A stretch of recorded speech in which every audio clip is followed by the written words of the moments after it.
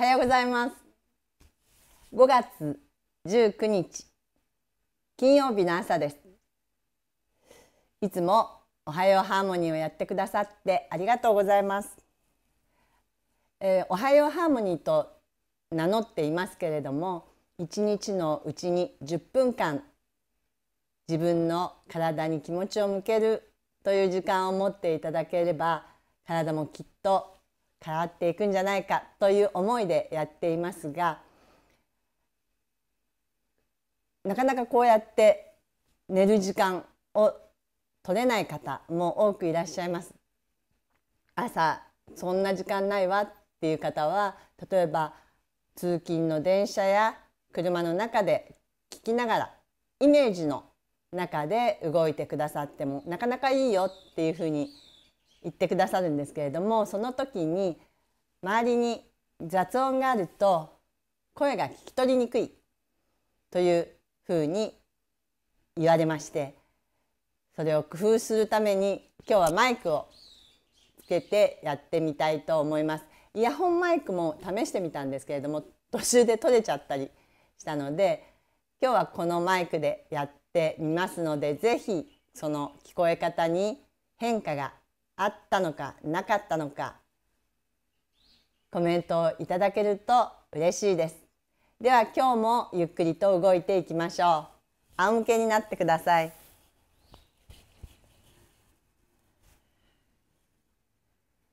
呼吸を楽にして床に体を預けてください。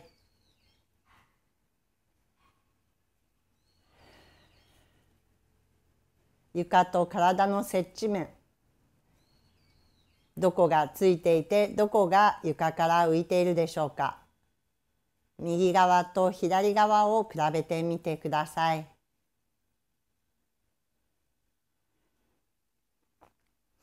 骨盤を少しもぞもぞと動かしてみてください。この右に傾けるのと左に傾けるのではやりやすさに違いがあるでしょうか。ではその動きをやめて両膝を立ててください。左足の外くるぶしを右膝の上あたりに乗せてください。そうすると左膝が外側に開いているような形になります。ね。これで股関節が痛いとか膝が痛いとか。いろいろ置き位置とかご自分にとって楽な位置を探してください。そしてゆっくりとこの膝の重さを利用して左膝が床に近づいていったり戻ったりしてください。昨日はこの下の足を伸ばしたままやったんですけれども、なかなか膝が床に近づいていかなかったというふうに言ってくださる方もいたので、こちらの方が少しわかりやすいかと思います。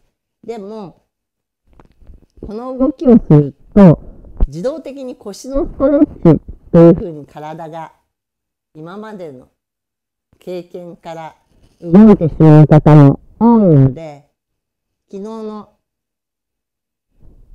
膝が床に近づくためには体がどう動くのかしらというふうに気持ちを体全体に向けて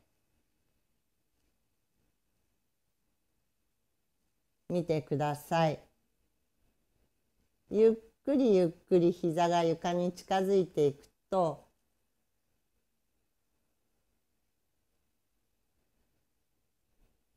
足の裏はどこが浮いていくでしょ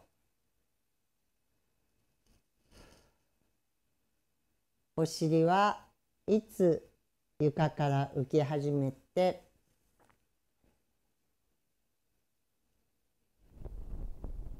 背骨はどんな動きをするでしょうか？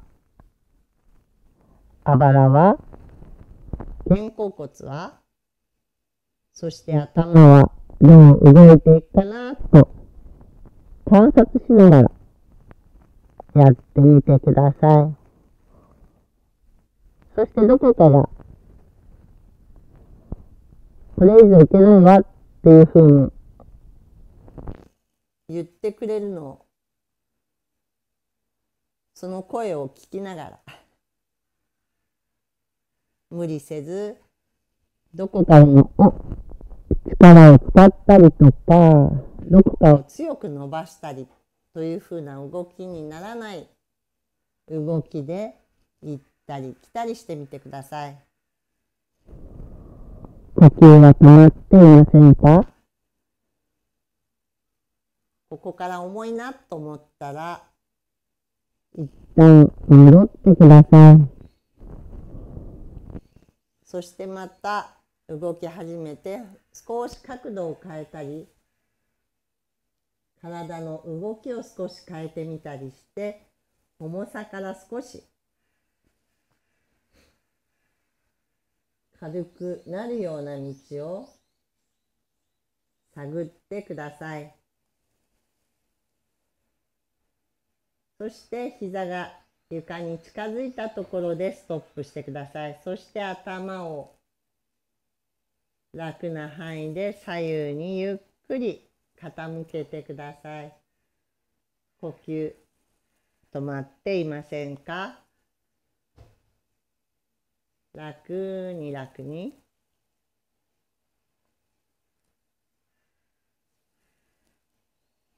はい。では、ゆっくり戻ってください。そして、この曲がっている、膝を立ててる右足をスーッと伸ばしていって、右足は伸びて、左足が曲がって4の字の体勢になってまた膝が床に近づいたり戻った。りどうでしょう？このあ昨日やってない方は今のこの感情味わっていただければいいんですけれども。少し軽く膝が床に近づくでしょうか。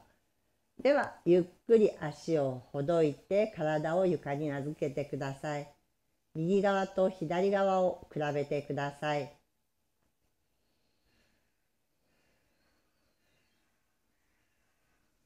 床と体の接地面どんな違いがあるでしょうか。ないでしょうか。ではもう一度両膝を立てて右膝あ右足の外くるぶしを左膝の上あたりに乗せて楽な位置を探してください。ゆっくり優しく右膝が床に近づいたり戻ったり最初は小さい動きで探りながらストレッチになってないかとかどこが動き始めるかなとかゆっくりご自分の体を観察して行ったり来たり呼吸は楽にしたままですね。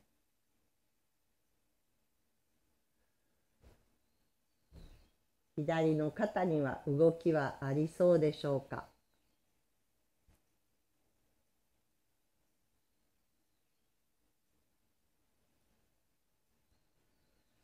あばらは床の上でどう転がっていきますか？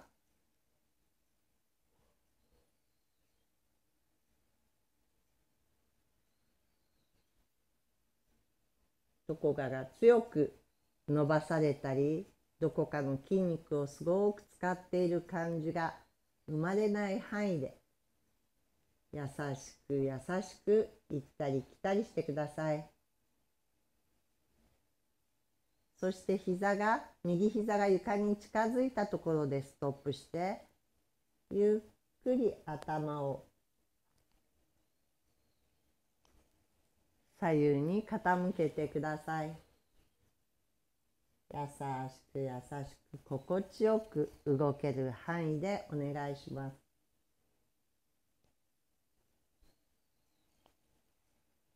そしてゆっくり膝を戻して呼吸を2回くらいゆっくりしてからまた膝が床に近づく動きをしてください。